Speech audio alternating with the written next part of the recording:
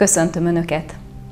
Az öröm támadja a szívet, a harag támadja a májat, a gond támadja a lépet, a szomorúság támadja a tüdőt, a félelem támadja a vesét.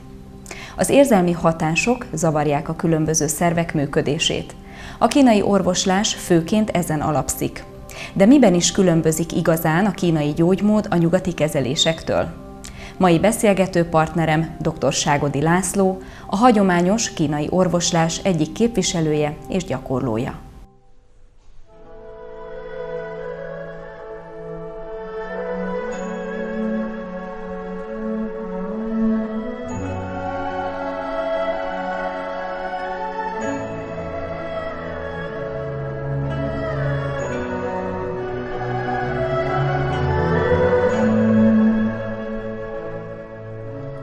Üdvözlöm, doktor úr, a műsorunkban. Megtenni, hogy pár szóban bemutatkozik a nézőknek?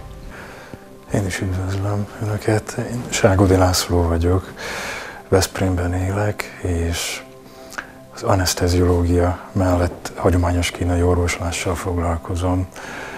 Ebből telik ki az életem nagyobb része, a szakmai része. Miskolcon születtem, Pécset végeztem az egyetemet, dolgoztam Miskolcon, helyen és itt a Veszprémi Csolnoki Kórházban is, még jelenleg is van egy munkanapom. Nagyon tömören ezt tudnám elmondani. Mikor döntötte el, hogy akadémikus orvosként megpróbál más ö, módszerekhez is nyúlni? Egy folyamat volt ez. Azt hiszem, hogy mindig is érdekeltek a, a keleti kérdés, a kelet tanjai, a, az az ősi bölcselet, amiből részben a kínai orvoslás is kinőtt. A, volt már egy rövid találkozásom az egyetemen, aztán úgy egyszer-egyszer megvillant az életembe, de igazán a szakvizsga, az anesteziológia intenzív terápiás szakvizsga után eh, vetettem bele teljes erővel magamat.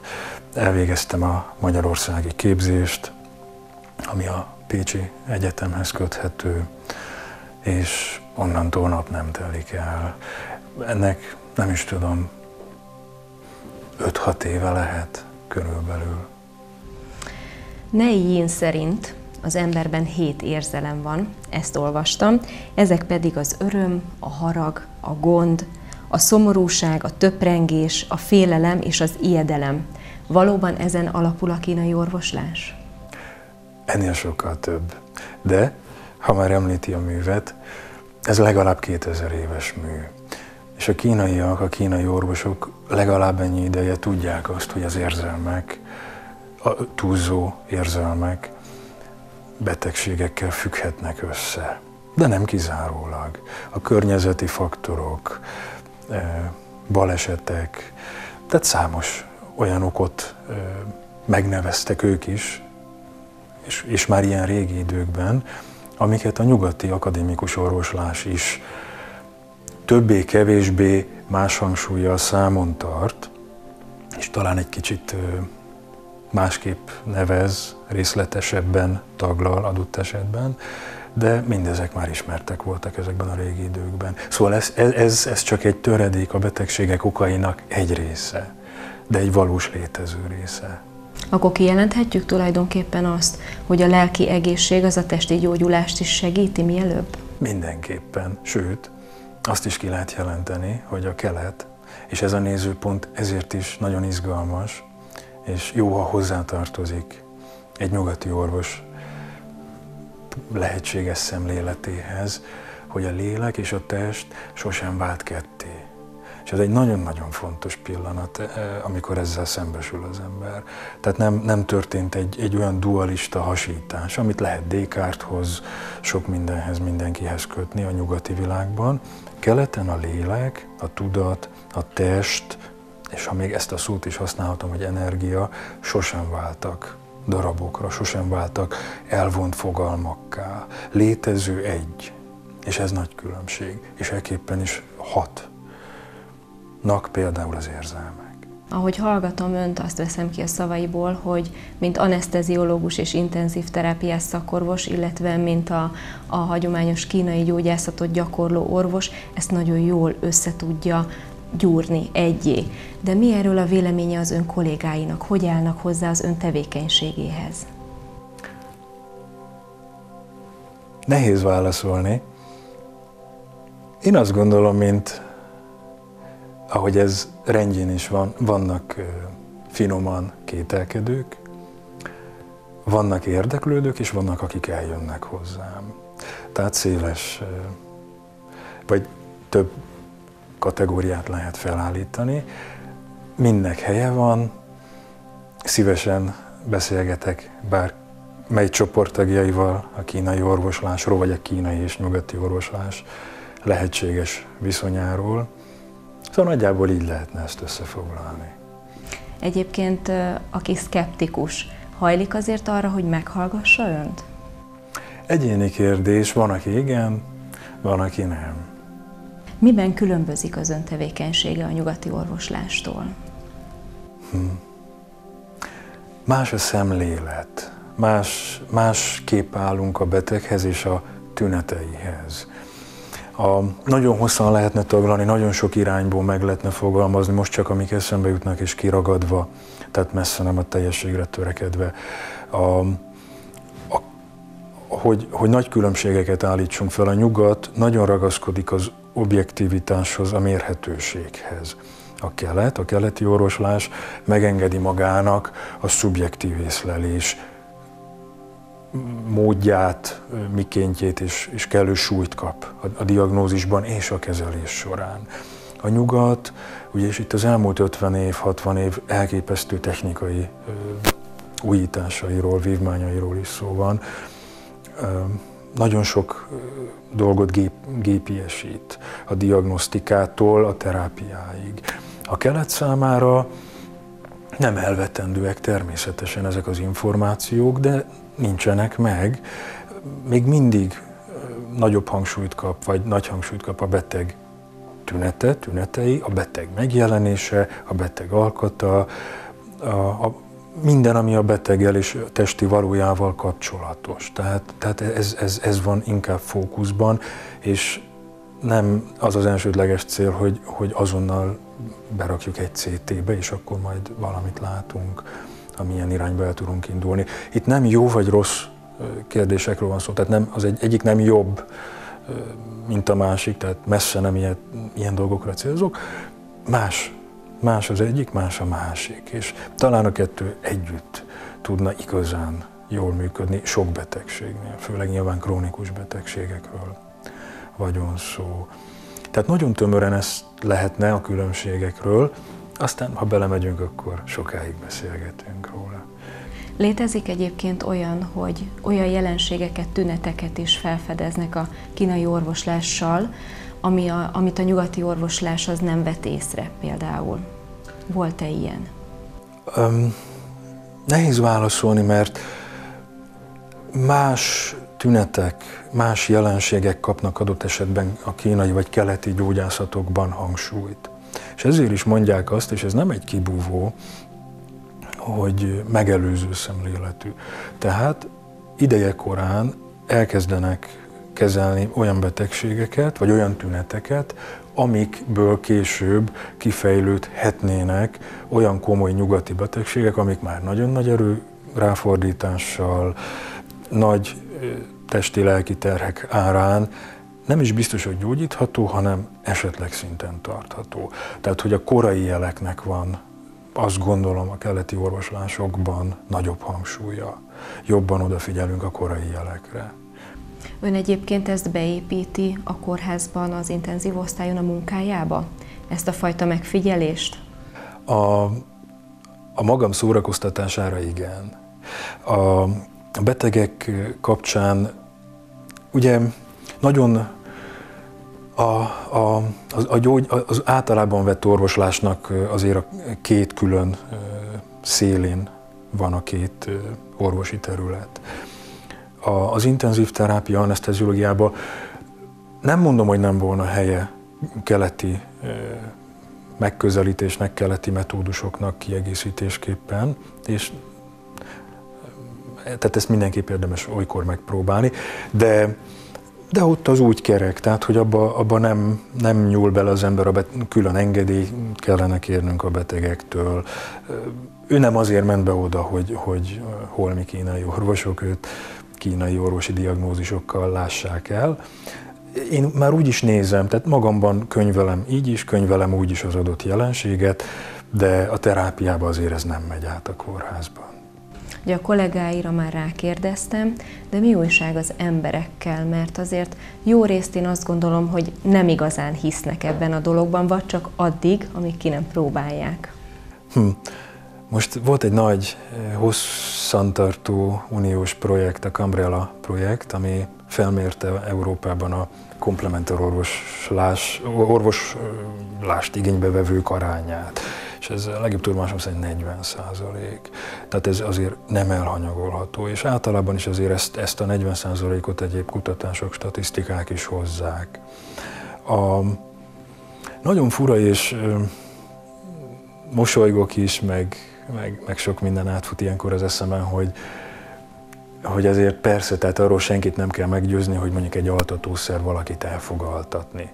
Hogy abból mennyi kell, az más kérdés. Tény, hogyha beadom, a beteg elalszik. És, és igen, olykor arról, arról el kell nem is meggyőzni, meggyőzni senkit nem kell, és nem is lehet feltétlenül, hogy most a, a, a tűk hatnak-e, hat-e a kína, működik-e a kínai, vagy általában a keleti gyógyászat mondanom se kell, hogy véleményem szerint természetesen.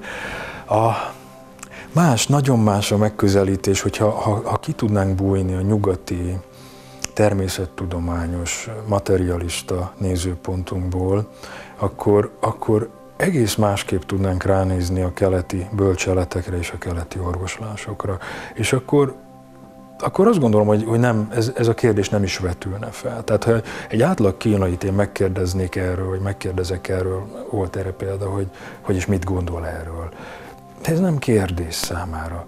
Tehát ha olyan betegsége van, akkor ő a kínai orvoshoz fog valószínűleg elmenni, bár a modern Kína nagyon radikálisan és nagyon furán alakul át, tehát ez, ez megint egy más területet nyitna meg, de hogy de keleten ez nem kérdés. Tehát ahogy fúj a szél és felkel reggel a nap, a keleti orvoslásnak ugyanúgy helye van és természetesen működik. Csak másképp. Más nézőpontok, más síkok, más kérdések vetülnek fel, és ebből nekünk nem volt érettségi tétel. Mi ezt nem, nem kapjuk az anyanyelvhez, kis idézőjelbe. Mondván ezt. Tőlünk ez vagy idegen, vagy valóban látjuk működni, megtapasztaljuk a jótékony hatását, és akkor onnantól nincs miről beszélni. Igen, azért a keleti emberek egy egészen más metódusban élnek, egy egészen más habitusú emberek. Ezek a gyógyászati módok a mi nyugati rohanó világunkban ugyanúgy hatnak? Ó, ezen a héten gondolkodtam. Egy pont, pont szóba jött valahogy. Tény lassabb a, miután egy keleti ember, és itt azért az elmúlt legalább 2000 évről is beszélünk, nem, nem volt annyira az időhöz kötve, nem volt annyi feladat, nem volt akkora adatmennyiség. Ugye a big data korát éljük, ami évente megduplázódó információval járt, tehát ami a szubjektív idő észlelhető felgyorsulását hozza magával. Tehát ehhez nem is kell misztifikálni ezt, hogy azt érezzük, hogy már megint egy hét, megint egy hónap eltelt. Igen, a nyugati rohanó ember, aki a rohanásban mellesleg szedi-szedi magára betegségeket, illetve először az előszobájába lép, aztán jönnek a betegségek, csak ki kell tekinteni, ugye, vagy meg kell nézni a kórházi statisztikákat, tehát egyre-egyre betegebb a társadalom lelki és testi betegségekről tudunk objektíven nyilatkozni. Igen, tehát erre mondhatja azt a nyugati ember, hogy nekem erre nincs időm. Nincs időm feküdni a tűkkel, nincs időm egyáltalán eljárni kínai vagy keleti orvoshoz. Megszoktuk a távirányítós életet, hogy minden gomnyomással. Én tíz évig fejlesztek egy betegséget, csúnyán szólva, és most azonnal gyógyítsák meg, kérem szépen, nekem vissza kell menni dolgozni. Persze, tehát ilyen, ilyen feszült keretek közé nehéz behozni a keleti orvoslást. De ugyanakkor úgy tűnik, hogy sok embernek, és talán egyre több embernek, az előbb említett 40 nyi emberre is utalhatok, igénye van. Mégiscsak érzik, hogy valahol itt megyünk a gyökerekhez. Itt nézzük át nagyon alaposan, nagyon, nagyon más szemmel az, az ő betegségét. Itt, itt kínálkoznak olyan alternatívák, ami úgy érzi, és aztán úgy tapasztalja, hogy ez neki jó, jobb adott esetben, mint egy nyugati metódus, ami talán instantabb, talán, talán gyorsabb megoldást akar kínálni, aztán nem biztos, hogy amit nyerünk a réven, azt a vámon is visszakapjuk kicsit sánta hasonlattal. Kijelenthetjük egyébként azt, hogy aki a kínai orvoslás mellett dönt, vagy a keleti dolgokba hisz inkább, ők sokkal előbb fordulnak panaszukkal segítségért? Azt gondolom, igen. Van nyilván egy laikus ismeret is, már bizonyos dolgokkal, tünetekkel, betegségekkel, megközelítéssel kapcsolatban, és igen, tehát sokszor lehet ezt tapasztalni. Tehát, hogy is mondjam, és a legtávolabb álljon tőlem, hogy bárkit megbántsak. Tehát nagyon sok olyan tünet van, amivel egy nyugati orvos, bármekkora az ő szaktudása, nem tud mit kezdeni. És egy kicsit azt gondolja magában, hogy hagyjuk már, most fázik a dereka, hát, vagy a lába, vagy mint a jégkocka lenne a hasába, hát most ilyet miért mond a beteg, hát nem, nem tudok vele mit kezdeni. Vagy csak ez az egy pont fáj, de az mindig fáj, hát majd elmúlik. Vagy akkor a, ez, ez egész mást jelent egy keleti orvos számára, erre már rávetti magát, fontosnak ítéli meg, összefüggést lát egy adott betegséggel, és, és, és erre javasol gyógymódot. És, és vannak emberek, akik, akik érzik, hogy igen, ez fontos. Tehát, hogy valami oka van, hogy a derekam állandóan hideg. És csak a derekam hideg. Hogy egy, egy banális példát emeljek ki. Tehát ilyen értelemben lehetne talán ezt mondani. Ön szerint mennyire épül be a keleti orvoslás ma Magyarországon? Hogy terjednek ezek a kezelések szájról szájra? Hallottam, jó volt, én is elmegyek. Mit lehet erről tudni? Mm, nyilván van egy média felület, ami van, amikor pozitív, van, amikor negatív előjelű. Mindenkinek szíve joga véleményt alkotni természetesen, bár azért az élni, élni, hagyni elv épp annyira fontos. A, és van a szájról szájra valóban. Nagyon-nagyon remélem, hogy a közeljövőben, és erre azért Magyarországon is úgy tűnik, hogy vannak törekvések, egyre több tudományos fórum, hiteles orvosi fórum fogja hitelesen, megfoghatóan, megbízhatóan képviselni a komplementer orvoslás ügyét. Természetesen egyébként ez eddig is így volt, de talán-talán most ez még inkább erősödik. Meglátjuk, mit hoz a jövő. Ön egy nagyon szép nevű rendelőben dolgozik, Napok fája a neve. Honnan jött ez a névválasztás, ez az ötlet? Ez egy kínai e, mitológiai történethez köthető. Az egészet most nem mondanám, az unalmas volna. A, maga a napok fája és maga ez a fa egy világtengely, talán ezt lehetne kiemelni, tehát egy ilyen axis mundi, ami, aminek azért jelentősége van, hogy ezt egy gyógyítással asszociáljuk ráadásul, tehát mindig, ahol az ég és a föld összeér, és azért ez mindig alapja volt és van a keleti filozófiáknak és a keleti orvoslásnak, hogy az ég és a föld hatásai között ott az ember harmadikként a hármas szám egyik nagy jelentősége, és mind a kettő hatásainak ki vagyunk téve, utalva a, az imént tárgyalt betegségek okai témára. A másik, amiért egyáltalán ilyetén nevet választottam, hogy szeretnék majd, ki tudja a jövő mit hoz, csapatot formálni. Tehát ez e, e, e név alá egy csapatot, aminek vannak, vannak morzsái, együtt dolgozom egy kiváló gyógytornásszal, a rendelőbe dolgozik egy remek manuálterapeuta kolléganő, szekeres doktornő, um, aztán meglátjuk, hogy ezt tudjuk-e bővíteni, ezt a kört. Milyen gyógymódok tartoznak az ön tevékenységi köréhez? A, igyekszem amire csak a kínai orvoslásba beletartozik rá, rálátni, érteni hozzá és alkalmazni. Elsődleges a tűterápia, tehát az akupunktúra, de a moxaterápia, amit most egy mostanság egy picit hanyagolok, de attól még remek módszernek tartok, a moxaterápia, manuális terápiák, ez a tuina rendszer, tehát a kínai orvoslás mozgás terápiája, ami azért szintén nagyon-nagyon előnyös mozgásszervű betegségeknél, gyógynövény és a dietetika.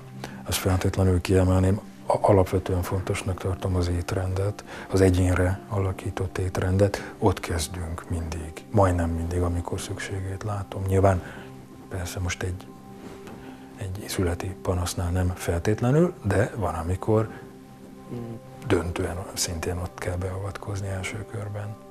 És mik azok a leggyakoribb panaszok, melyekkel fölkeresik önöket? Mert gondolom sok rétű, de mégis mik azok, amik, amikre azt lehet mondani, hogy ez szinte visszatérő? Hmm. Mindig van, van, egy, van egy szezon talán, ugye ez a szinkronicitás. A mozgásszerű panaszok so, sokan vannak, de nagyon sok nőgyógyászati zavar, vérzészavar, emésztési zavar, fejfájások, szédülések, fájdalomszindrómák, harcideggel kapcsolatos tünetek. Hm, hm, hm.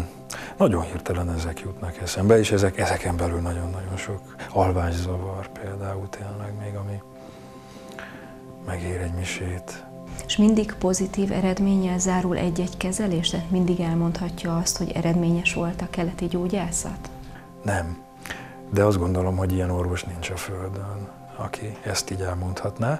Ez engem ettől még bánt, és törekszem a, a legjobb idézőjelbe tett százalékra, de, de ez nekem is, magamnak is be kell látni. Tehát én is úgy tudok egyik napról a másikra ott lenni és dolgozni, és ezeket feldolgozni, hogy nem gyógyítható meg mindenki, vagy maradéktalanul legalábbis.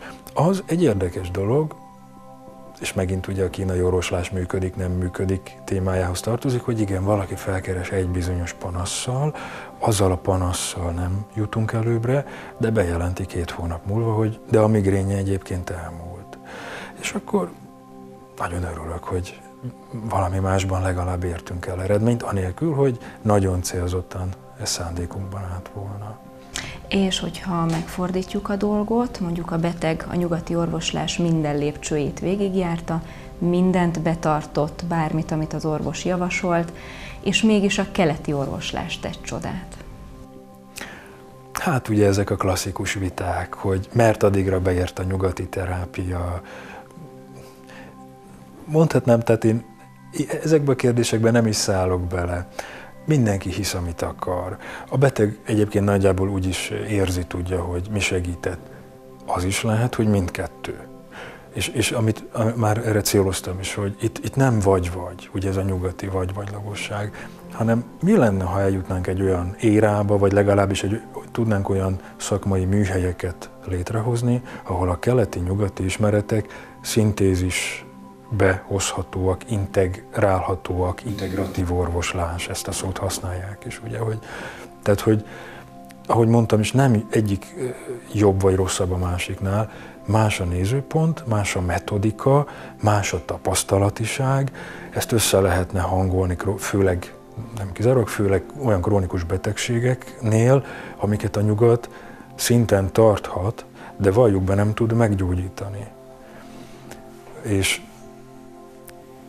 hát nekem ez, ez egy nagy álmom, hogy, hogy a kettő együtt dolgozon, és nem azon polemizálni, hogy ki nyer ma, ki, kinek a terápiája volt meghatározó. Egy dolog fontos, hogy a beteg meggyógyuljon.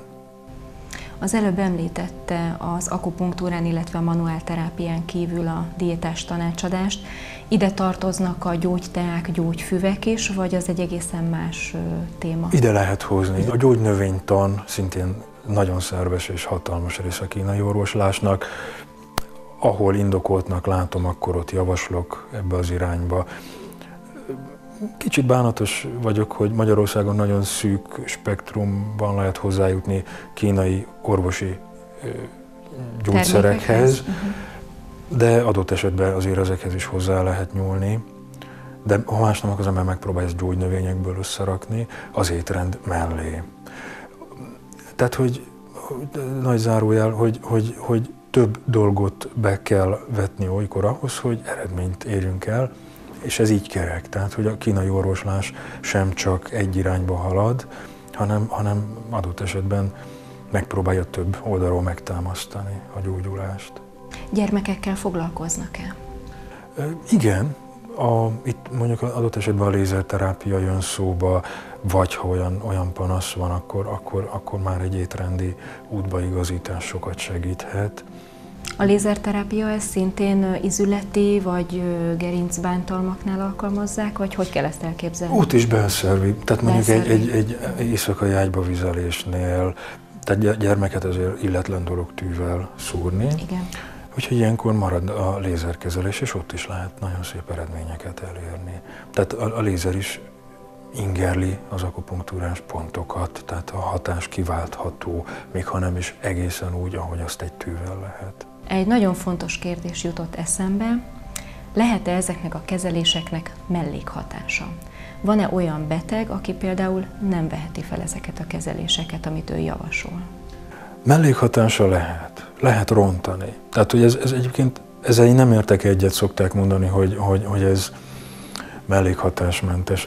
Ha valaki belevág és gyógyít, akkor ott, ott lehetnek mellékhatások.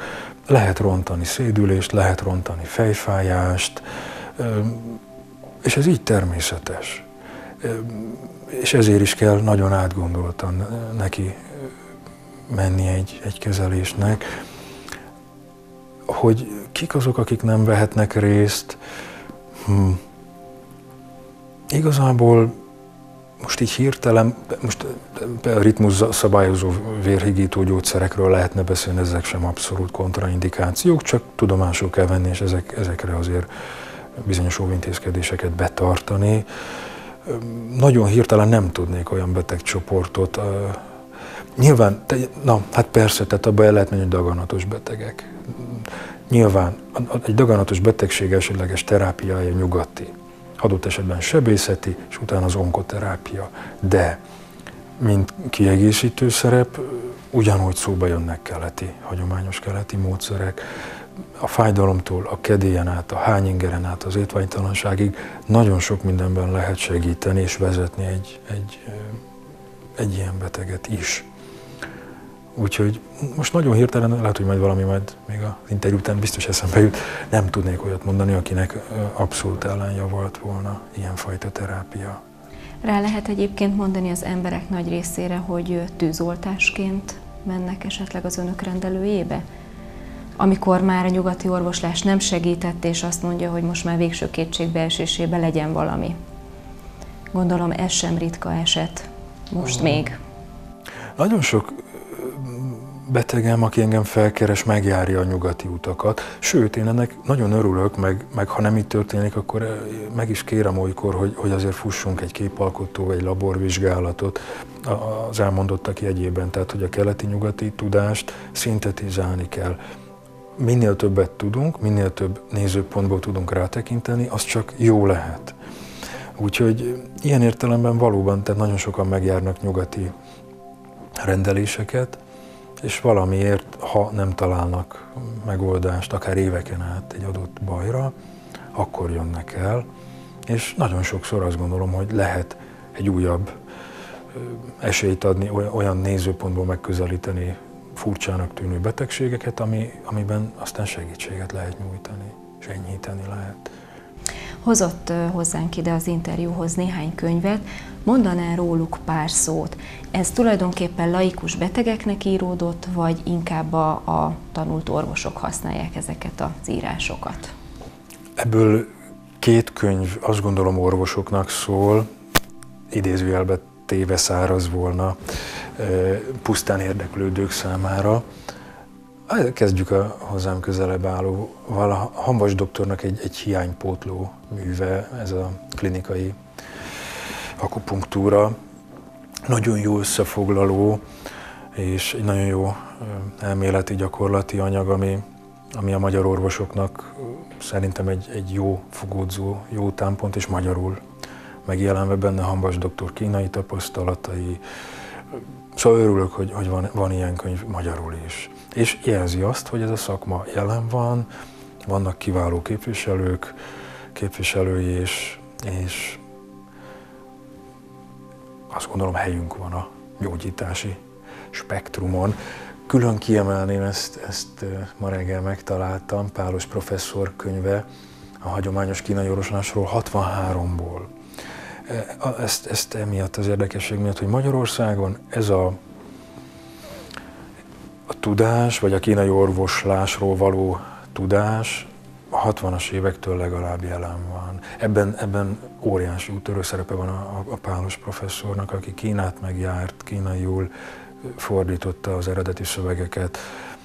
Néhány éve hunyt el, 91 néhány éves korában Németországban, ha nem tévedek. Tehát, hogy ez, ez egy nagyon fontos dolog, és már a 70-es évektől, még ha a tiltott, tűrt kategória határán is, de, de számos kolléga próbálkozott és, és próbált elmélyedni a kínai orvoslásba, akkor még ugye nagyon-nagyon szűk úton lehetett haladni, az információk nem voltak olyan bőséggel, mint jelenleg. A harmadik könyv a Sárga Császár belső vagy belgyógyászati könyve, ennek magyar fordítása. Erre is céloztam, ez az a 2000 éves alapmű, ami, aminek a súlya a, a Corpus Hippocraticummal ér fel, ami a nyugati orvoslás egyik alapköve. A mai napig idézik, citálják ezt a művet. A, illetve hát ez eredetileg négy részből áll, de ez most nem annyira tartozik ide. Nagyon-nagyon sok olyan alap tézise van, ami a, a mai kínai orvoslásra is épp úgy érvényes és, és, és fantasztikus meglátások 2000 év távolatából.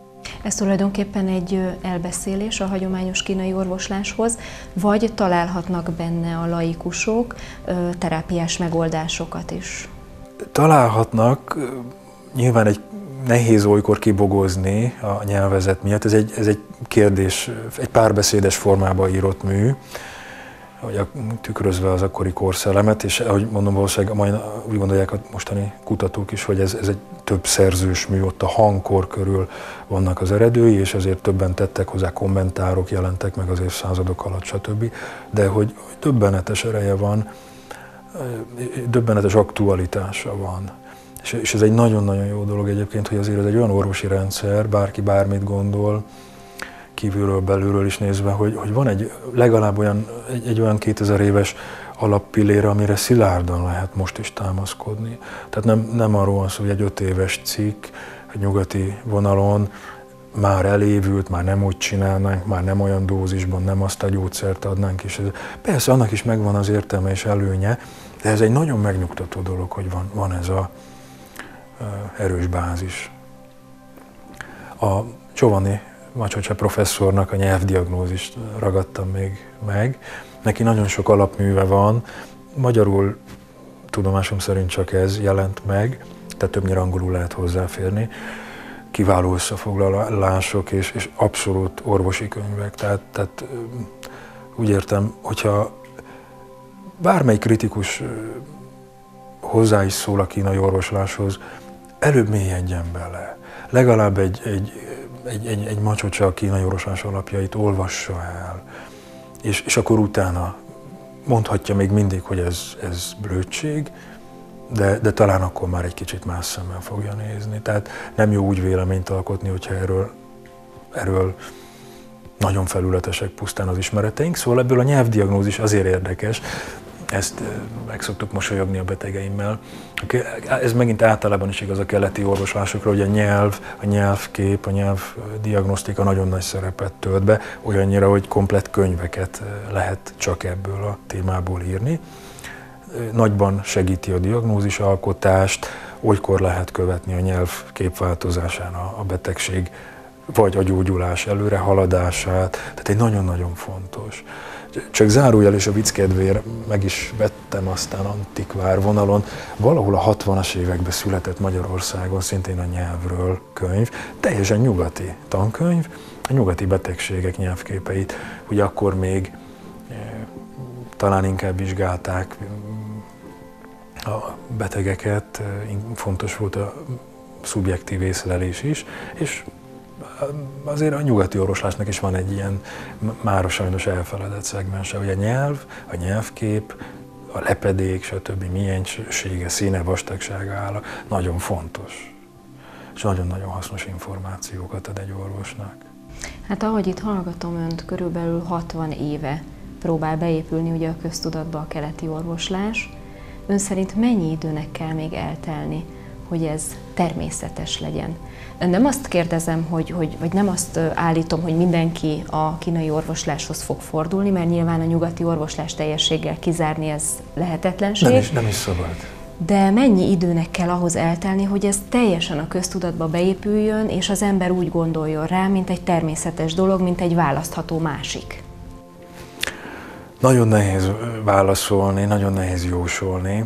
Ez a nevezett Cambriella projekt, ez, ez mindenképp imponáló, és igazából egy 40%-nál én azt gondolom, hogy meg is lehetne akár állni, bár nyilván az elfogadottság, vagy legalábbis a, a, az elismertsége nyilván örömömre szolgál, hogyha növekszik.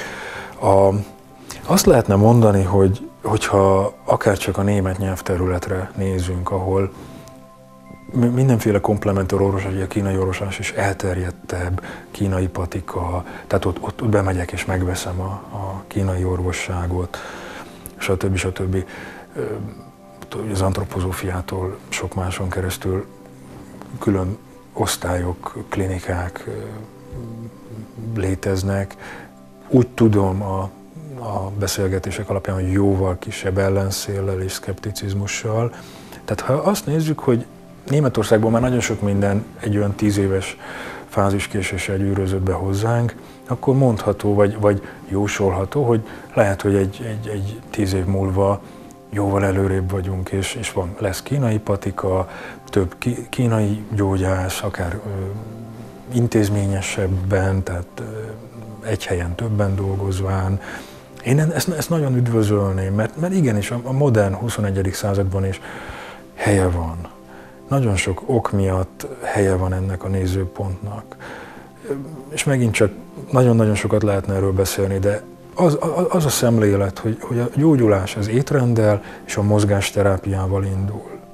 És, és azért ma e, ebben hiteles tanácsot inkább keletről kap az ember, azt gondolom, és remélem, hogy nem bántok meg megint csak senkit, és mindig tisztelet a kivételnek nem áll semmilyen a szándékomban, ahogy mindig elmondom. Úgyhogy Szóval nagyon-nagyon bízom abban, hogy ez egyre népszerűbb lesz, és a következő tíz évben változások lesznek, és ebben, ebben nekünk bentről, a szakma felől nagyon, nagyon erősnek és tudatosnak kell lenni, hogy hitelesen, nagy szakmaisággal, tudományos alapossággal képviseljük a keleti orvoslást, vagy a komplementer orvoslások összességét. És mi újság a társadalom biztosítással, mert én úgy tudom, hogy Magyarországon most ez még csak magánúton érhető el. Sajnos igen, ez is nagy álmom, hogy szoktam mondani, hogy, hogy ez ahogy bekerüljön állami területre. Én ezt el tudnám képzelni, sokan nem. Volt egyébként precedens, volt, volt államilag finanszírozott kínai orvoslás Magyarországon, Budapesten egy rövid ideig, azt hiszem a Szent István kórházban. És azt megszüntették? Igen, ott is talán financiálisan, tehát, tehát ez a finanszírozás, de nem tudok sajnos pontos részletet, úgyhogy nem akarok butaságot mondani, tehát hogy volt rá precedens, és úgy tudom, hogy jól működött. A, ha ezt, ezt valaki helyén kezeli, hitelesen csinálja, nem ellenszélbe kell feltétlenül létrehozni, én, én ezt abszolút, ha más nem egy járóbeteg szinten helyen valónak látnám, Na ebben, ebben nem vagyok annyira bátor, hogy, hogy tíz éven belül re valami jóslást mondjak. Azt hadd kérdezzem meg, hogy ön járt-e Kínában, tapasztalt-e közvetlenül keleti bölcstől tudást? A Kínában nem jártam, a bakancs listámon rajta van. Mostanában a szomszédig se jutok el, annyira nincs időm. Nagyon szeretnék elmenni Kínába, hozzátéve, hogy ahhoz óriási szerencse kell, hogy Kínában az ember alapos, mély tudást merítsen és hozzon haza. Nem, nem lehetetlen, de hogy mondom, szóval Kína, Kína is azért sokat, sokat változik azok elmondása alapján, akik viszont jártak kint, és akikkel beszélgettem. azt gondolom, hogy ma már Magyarországon is vannak olyan nagyon hiteles, nagyon nagy tudású kollégák, akiktől nagyon hasznos, nagyon jó tudást lehet meríteni, és én próbálok ebben az irányba úszni. Ön szerint mi kell a nyugati embereknek a betegségük gyógyulásához? Hmm. Hát egyéni kérdés, tehát hogy, hogy nagyon fontos az, hogy tehát az általános tanácsokkal mindig csinyán kell bánni, de az említett étrendmozgás, ezek alapvető dolgok. A lelki tényezők, alapvető dolgok. Én, ha most egy lólépéssel innen elugorhatok, és megint távol álljon tőlem, hogy bárkit megbántsak, de az iskola rendszerbe kevesebb integrálás, meg deriválás lenne, és több önismeret, akkor én azt, azt nagyon tudnám üdvözölni. Ha, ha 18 éves emberek, fiatal emberek önis, valamilyen szintű önismerettel lépnének az életbe, én azt gondolom, hogy valószínűleg kevesebb beteg ember is volna. És mi az ön célja, doktor úr? Jól csinálni, amit csinálok, sokan legyenek elégedettek a napok fájával, és hogy e név alatt, ahogy mondottam, létrejöhessen majd a jövőben egy valamekkora csapat, hiteles, szakmailag erős lábakon álló csapat. Kedves doktor úr, én köszönöm szépen a beszélgetést. Én kívánok a munkájához további sok sikert, hitet, és nagyon remélem, hogy ezzel a tartalmas beszélgetéssel egy kicsit a szkeptikus emberek felé is nyitottunk. Nagyon szépen köszönöm a lehetőséget, és én is bízom ebben. Önöknek pedig, kedves nézőink, megköszönöm figyelmüket. Következő adásunkkal hamarosan jelentkezünk. Addig is figyeljék műsorainkat, kövessenek bennünket Facebook oldalon, és töltsék le a mobil applikációt. Viszontlátásra!